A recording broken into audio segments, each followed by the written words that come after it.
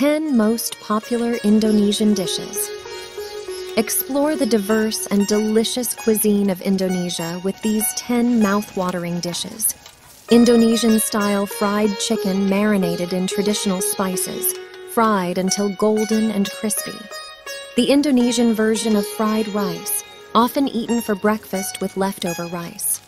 A versatile vegan product packed with proteins, originating from the Indonesian island of Java. A traditional mixed vegetable pickle with generous spices used as a topping or accompaniment. A traditional Indonesian soup with numerous varieties adapted to local cuisines. Unique Asian rice cakes, boiled and served in woven containers made of leaves.